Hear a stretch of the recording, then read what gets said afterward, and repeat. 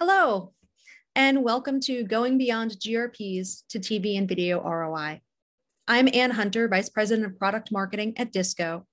And today we're going to talk about what happens after you can count what video ads have actually run.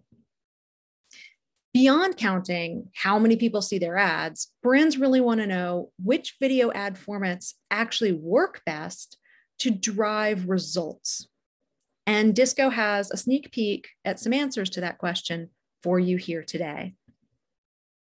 First, for those of you who don't know DISQO, DISQO is a customer experience platform where millions of people share their opinions and their complete behavioral footprint across all platforms. So, one of the ways that brands, agencies, publishers use our platform is to understand how ad campaigns impact brand experience.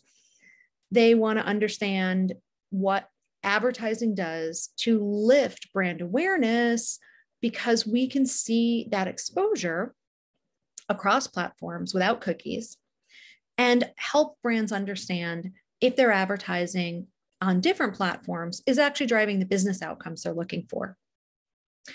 We initiated a project to generate some overarching learnings across all of our clients from hundreds of recent ad effectiveness studies there's multiple brands, categories, and video ad formats. And today we're sharing with you a short sneak peek into some of the results of that study. For this view, we studied 50 brands across 10 separate consumer categories. There's CPG and apparel, retail, tech, finance, pharma. It's a really wide range of different client types that data is being used for in this analysis.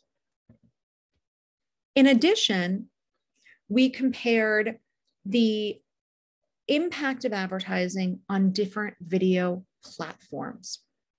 We looked at standard brand lift metrics in a control and exposed methodology. So we looked at people who saw ads, and then we had a matching control group of people who didn't see them.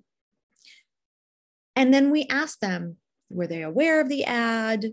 How favorable did they feel toward the brand? Were they likely to purchase that brand? And we evaluated three major video ad formats linear TV, OTT slash CTV, and online video to look at the impact at brands in driving these awareness and favorability metrics across different platforms. The first thing we discovered when looking at all of this data together is that statistical significance is critical. It's tempting when making assumptions about performance to use the largest set of data.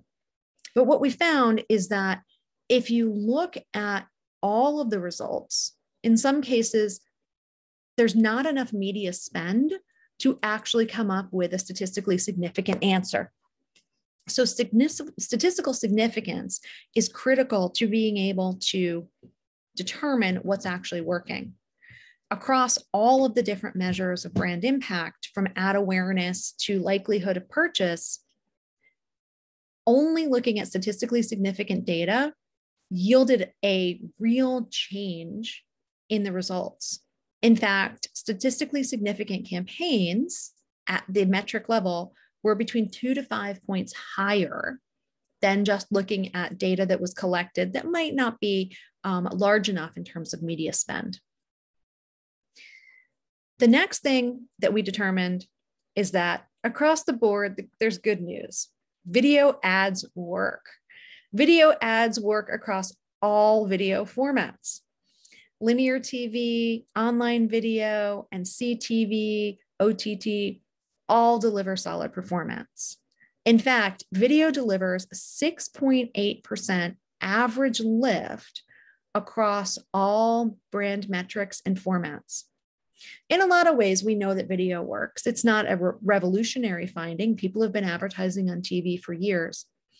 But with the move to add new formats and new approaches, there's been some concern if these new approaches would be effective or if they'd have any impacts on the effect of traditional linear TV.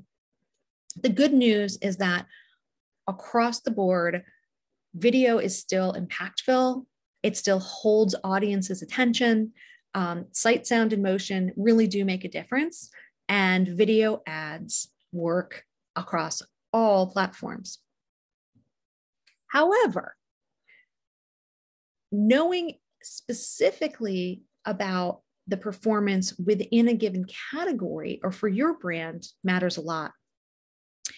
For example, we looked at CPG, retail, and services campaigns.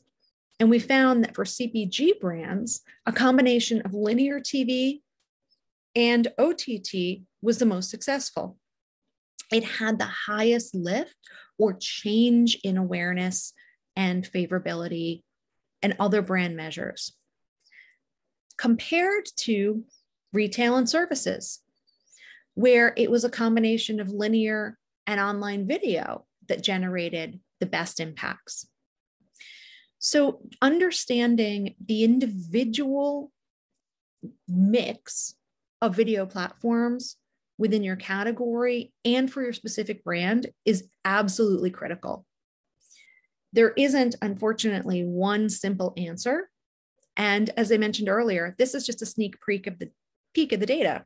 There's a lot more data to come where we hope to actually put out formally um, category results to help guide brands into the right combinations for their specific needs. But even without that, it's important that brands understand that this is a very personalized process, which is why working with their agencies and their in house agencies um, and their media partners is so important in measuring the effects of advertising across platforms in a uniform way in their individual campaigns. We also found that multiple exposures across channels really increases impact. And to some degree, it's sort of natural.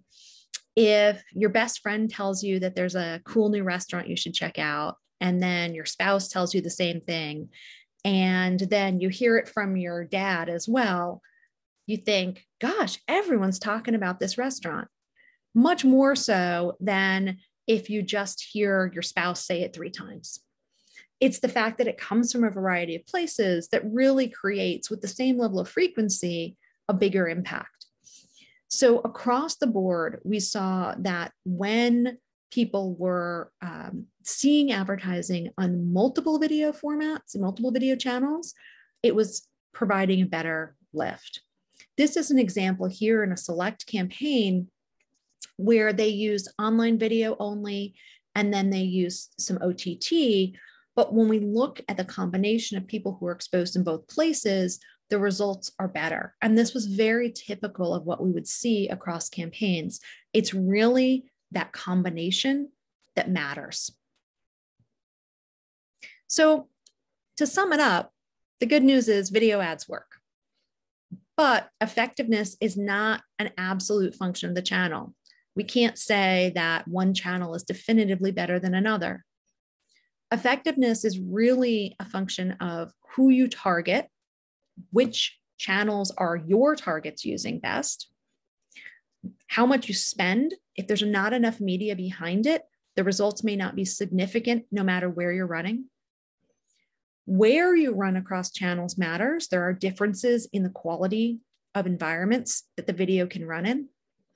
And then how that channel fits into the category buying journey for certain categories, online video may be much more relevant. For others, it's linear TV.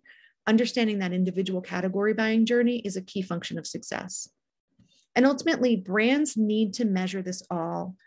They need to be able to look at all of their video with a single neutral methodology that allows them to compare performance across any channel using the same approach so they can get the ideal mix for their objective. So if you're interested in understanding how your video performs across channels, feel free to reach out. I'm Anne, um, and you can just shoot us a note at hello at disqo.com. And with that, I thank you.